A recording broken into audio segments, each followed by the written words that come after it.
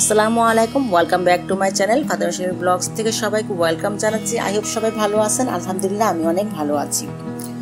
তো একদিন গ্যাপ দিয়ে কিন্তু আমি আবারও চলে আসলাম আপনাদের মাঝে চমৎকার একটি রেসিপি নিয়ে। তো আমি আজকে রান্না করে দেবো বেগুন দিয়ে ইলিশ। তো বেগুনের সাথে ইলিশে কিন্তু ভালো একটা সম্পর্ক আছে, তাই না? তো ইলিশ মাছকে বেগুন দিয়ে আপনি যেভাবেই রান্না করেন, খেতে অনেক ভালো লাগে। তো আমি দুটো মাছ নিয়ে আসছি। আজকে বাজারে গিয়েছিলাম আমি তো দুটো ইলিশ মাছ নিয়ে আসছি। তো আমি যখন ইলিশ মাছ কিনি, আমি চেষ্টা করি ডিম ছাড়া ইলিশ মাছ কেনার জন্য। কারণ ডিমওয়ালা মাছ আমার খেতে ভালো লাগে না। তো আমি দোকানদারকে বলেছিলাম যে, ভাই, আমাকে ডিম ছাড়া দুটো মাছ দিন। তো দোকানি বলল যে, ঠিক আছে আপা, এই দুটো মাছ নেন, এই দুটো মাছে কোনো ডিম হবে না। তো বাসায় এসে দেখলাম যে, আসলে মাছ দুটোতে কোনো ডিম হয়নি। তো আর মাছ দুটো অনেক বেশি ফ্রেশ ছিল। তো দেখতে পাচ্ছেন আমি মাছ দুটো কিন্তু কেটে নিচ্ছি।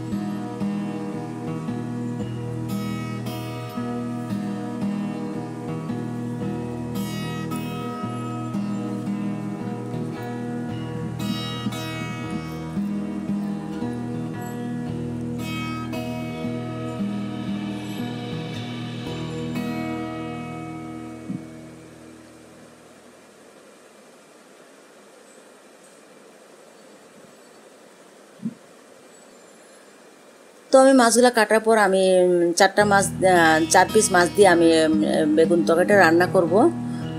তো যেহেতু আমি কিন্তু সবসময় বলি যে আমরা মানুষ মাত্র তিনজন, আমি, আমার বাবা, আমার মেয়ে, তো আমি কিন্তু অল্পই রান্না করার চেষ্টা করি। কারণ ডেইলি তো রান্না করি, বাসি খাবার তো খাওয়ার কোনো প্রয়োজনই অল্প অল্প করে রান্না করি যাতে আমার প্রতিদিনের খাবারটা প্রতিদিন শেষ হয়ে যায়। তো আমি দুটা মাছ আমি কাটার পর আমি চার চার পিস মাছ রেখে বাকি মাছগুলো আমি ফ্রিজ আপ করে রেখেছি। তো ওই যে প্রথমে মাছটা হালকা করে ভেজে নেব। আর ইলিশ মাছ কিন্তু মানে তরকারি যদি ইলিশ মাছ আমরা ভাজা খাই তখন কিন্তু কড়া করে ভাজলে খেতে ভালো লাগে। যখনই আমরা তরকারি রান্না করি কোনো সবজি দিয়ে রান্না করি, তখন আমি খুবই হালকা করে ভেজে নিই। তো এই যে আমি হলুদ লবণ দিয়ে মাখিয়ে মাছগুলো একটু হালকা ভেজে নেব। জাস্ট ওই, এই সাইডে এক মিনিট ভাজবো আর ওই সাইডে এক মিনিট ভাজবো। জাস্ট দুই মিনিট শুধু আমি ভেজে নেব। একটা হালকা একটা ব্রাউনিশ করে ভেজে নেব।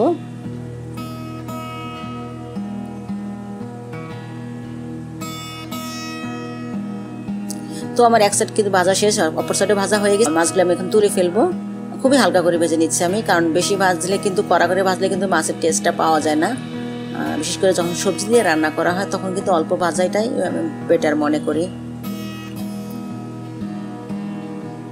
তো আমার মেয়ে মাছ দুটো দেখে বলতেছে, আম্মু তুমি ইলিশ পোলাও রান্না করো। তো ইচ্ছা আছে, ইলিশ ইলিশ পোলাও রান্না করব এবং সেটা আপনাদের মাঝে শেয়ার করব ইনশাল্লাহ। তো এই যে আমি খুবই হালকা করে মাছগুলি ভেজে নিলাম।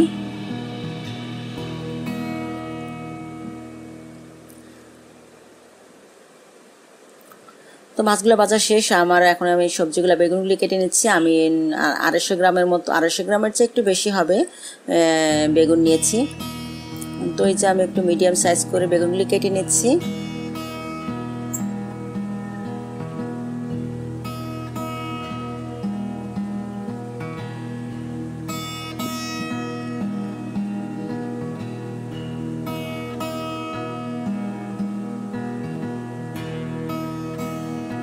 তো বেগুনের সাথে দুটো আলু দেব, দুটা মিডিয়াম সাইজের আলু নিয়েছি।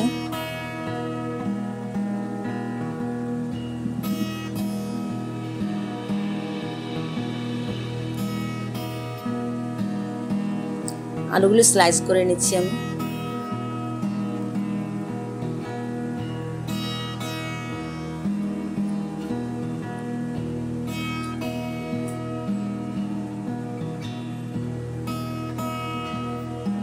তো এখন আমি বেগুনগুলি ভেজে নেব। আর আমি যখনই বেগুন, বেগুনের কোনো রেসিপি তৈরি করি, আমি কিন্তু বেগুনটা আগে একটু ভেজে নিই। এতে হয় কি, বেগুনগুলো কিন্তু গলে যায় না। আর বেগুন কিন্তু খুব সেন্সিটিভ একটা তরকারি। বেগুন কিন্তু খুব সেন্সিটিভ একটা সবজি।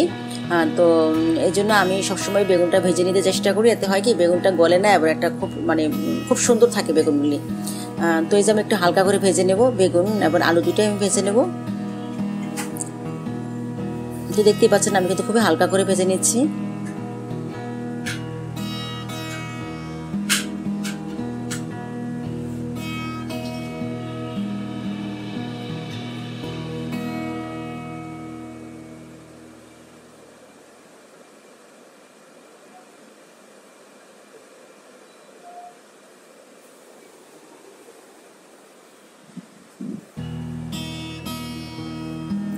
তো বেগুনগুলো আমার ভাজা শেষ হয়ে গেছে, আমি একটা ডিশে তুলে নিচ্ছি।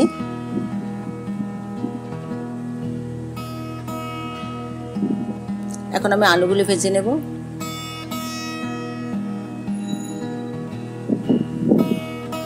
আলুগুলি আমি হালকা ভেজে নেব, হালকা একটু ব্রাউনিশ করে ভেজে নেব।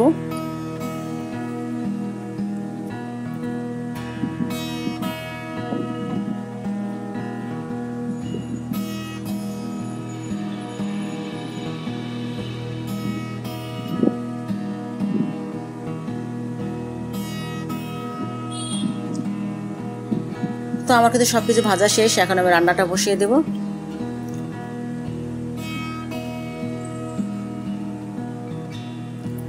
তো পেঁয়াজটা হালকা ভেজে নিলাম। এখন হাফ টি স্পুন আদা পেস্ট, হাফ টি স্পুন রসুন পেস্ট দিয়ে দেব। দিয়ে একটু ভেজে একটু পানি দিয়ে দেবো, পানি দিয়ে একটু আর একটু ভেজে নেব। আর যেহেতু ইলিশ মাছে কিন্তু অত খুব একটা মশলা দেওয়ার কোনো প্রয়োজন নেই, হালকা মশলা দিয়ে আমি রান্না করব। আর ইলিশ মাছে কিন্তু অত মশলা ভালো লাগে না। তো এই যে গুঁড়া মশলা দিয়ে দিলাম, হাফ টি স্পুন করে হলুদ মরি, হলুদে গুঁড়া, মরিচের গুঁড়া, হাফ টি স্পুন করে দিয়ে দিলাম, তারপর লবণ দিয়ে একটু ভালো করে কষিয়ে নিচ্ছি। তো আমি একটা আলুটা আগে দিয়ে একটু কিছুক্ষণ কুক করে নেব, কারণ আলুটা সিদ্ধ হতে একটু সময় লাগে। আর বেগুনটা যেহেতু আগে অনেক তাড়াতাড়ি সিদ্ধ হয়েছে তাই বেগুনটা কিছুক্ষণ পরে দেবো। আমি আলুটা একটু পানি দিয়ে ভালো করে কুক করে নেব।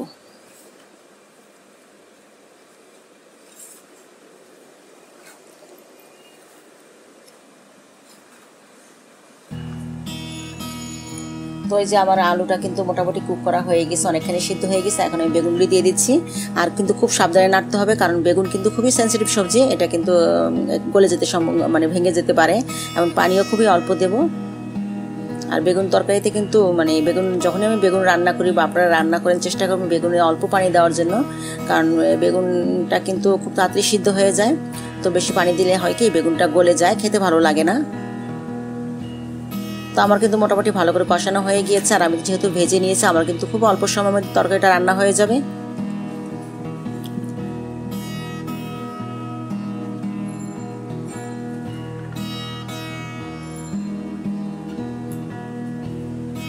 আমার ভালো করে কষানো শেষ। আমি এখন মাছগুলি দিয়ে দিচ্ছি। সামান্য পরিমাণ পানি দিয়ে আমি এখন রান্নাটা শেষ করে ফেলব। একটু পানিটা একটু শুকিয়ে নেব। দু, তিন মিনিটের মতো আমি কুক করব। তো এই যে ঝোল কিন্তু আমার অনেকখানি কমে গিয়েছে, আমি কয়েক ফালি কাঁচামরিচ দিয়ে দিলাম আর হাফ টি স্পুনের মতো জিরার গুঁড়ে দিয়ে দিলাম। কারণ বেগুনের সাথে কিন্তু জিরার একটা ভালো একটা সম্পর্ক আছে। আমি যখনই বেগুন তরকারি রান্না করি, চেষ্টা করি একটু জিরার গুঁড়ি দেওয়ার জন্য। এতে হয় কি ভালো একটা স্মেল পাওয়া যায়। যে আমার রান্নাবান্না প্রায় শেষ, আজকে যেহেতু একটাই মাত্র রেসিপি আপনাদের সাথে শেয়ার করলাম। আর যদি যারা এখনও আমার চ্যানেলকে সাবস্ক্রাইব করেনি, তারা অবশ্যই আমার চ্যানেলকে সাবস্ক্রাইব করে দেবেন এবং পাশে থাকা ছোটো বেল আইকনটি ক্লিক করে দেবেন। এবং আমার আজকের রেসিপি যদি ভালো লাগে থাকে, তাহলে একটি লাইক কমেন্ট একটি শেয়ার করে দেবেন। তো আর কি বলব, আপনারা সবাই ভালো থাকবেন সবার প্রতি আমার অনেক অনেক ভালোবাসা এবং দোয়া রইল। আমার জন্য সবাই দোয়া করবেন। দেখা হবে নেক্সট ব্লকে আল্লাহ হাফেজ।